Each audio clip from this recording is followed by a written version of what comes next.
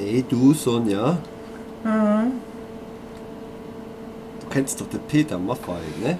Ja. Das ist so ein kleiner Mann, der singt so Über sieben Brücken musst du Ich gehen und so und. Tapaluca und so. Ja, ja, Ne? ich. Ich finde ihn voll korrekt.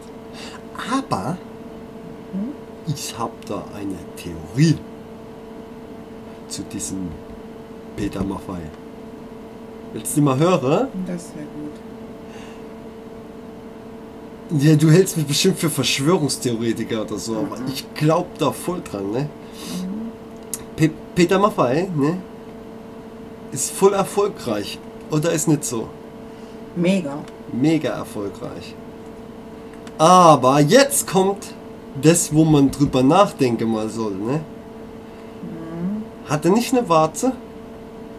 Ja. Richtig, der hat eine Warze. Und jetzt kommt meine Theorie über Peter Maffay. Ja? Früher gab es nicht so, so korrekt gute Playback-Scheiße und so, ja, und so, ja. Also hat Peter Maffeis Warze für ihn gesungen. Du verstehst?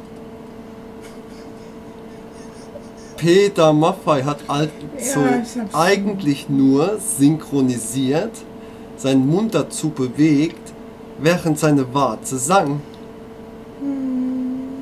Das ist meine Theorie. Deswegen hat er bis heute auch noch die Warze im Gesicht. Sonst wäre sein Erfolg nämlich im Arsch. Ja.